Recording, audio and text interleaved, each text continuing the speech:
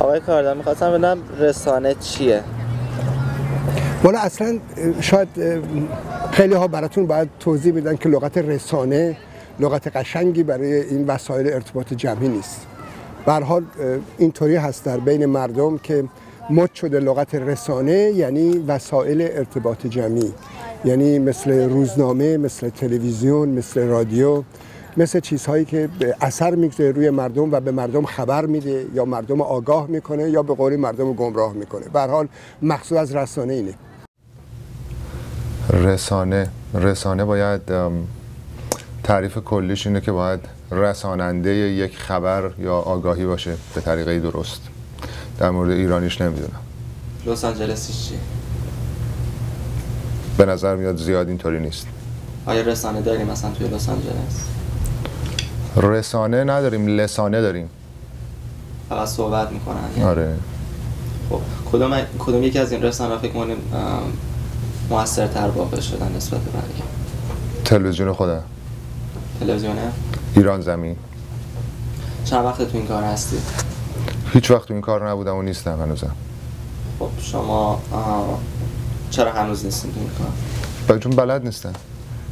سعی می‌کنیم توی تلویزیون خودمون اون چیزی رو که فکر می‌کنیم انجام بدیم که درسته. خیلی هم درست نیست.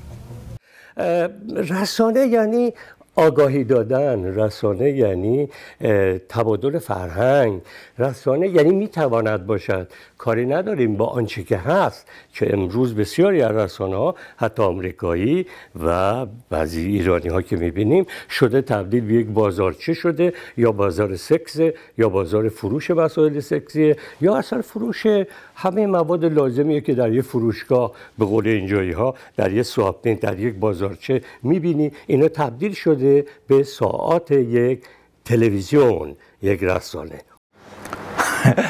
سوال خیلی گسترده رسانه. خب معلومه که قراره که اطلاعات رو برسونه به یک جمعیت انبوه و بعد احتمالا باید آزادی بیان و گفتار درش باشه تا معنی رسانه داشته باشه.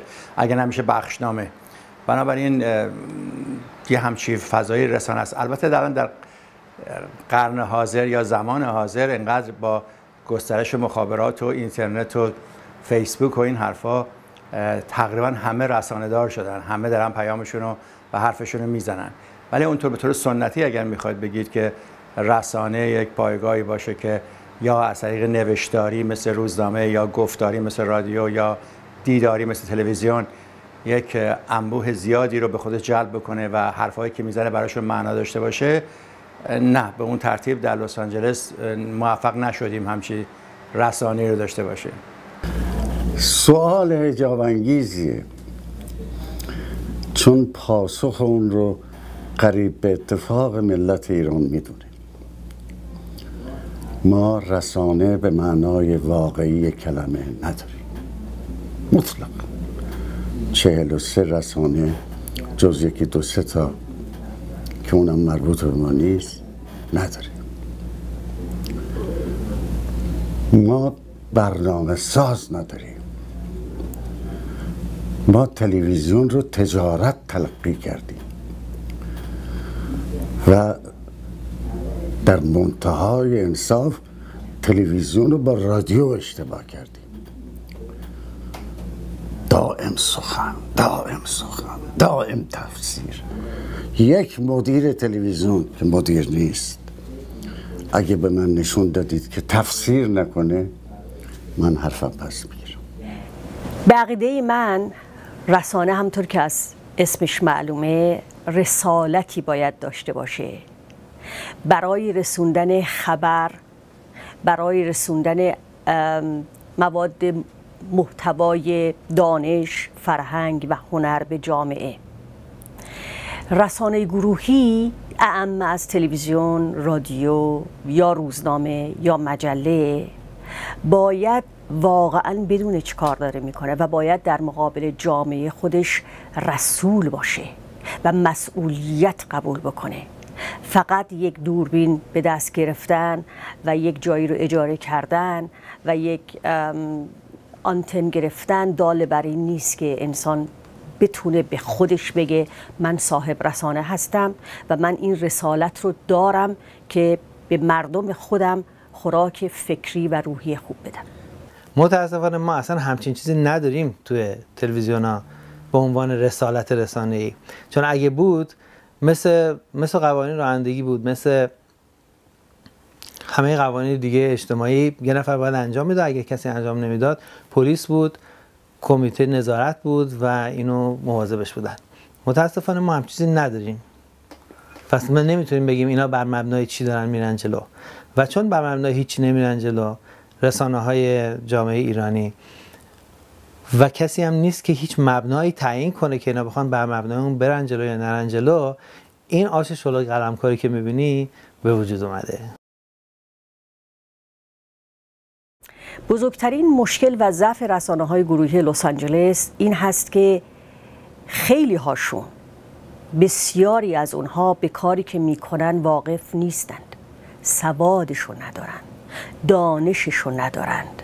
خب الان مشکل این رسانه ها یا وسایل ارتباط جمعی چیه توی لس آنجلس؟ والا بزرگترین مشکلشون مشکل مالیه. یعنی مشکلی ندارن. برای اینکه اصولا خیلی هاشون بدون هیچ برنامه ریزی مخصوصا برنامه ریزی مالی مثل قارچ ثبت شدن و آمدن و حالا موندن که چه کار بکنن. یه مدتی این دوبه مخارج خیلی هاشون رو تامین می‌کنن حالا که دوبه از کار افتاده موندن که چه کار بکنن. متاسفانه در سالهای اخیر به باور من بزرگترین مشکل جامعه ما این تلویزیون های ماهواره شد که در کشوری که شما برای من پریروز به یک استاد دانشگاهی می‌گفتم برای یک مو کوتاه کردن شما یک سال باید برین دوره ببینین و license بگیرین جواز بگیرین که نهایت اینه که یه موی آدم رو خراب میشه دو هفته دیگه رشد می‌کنه.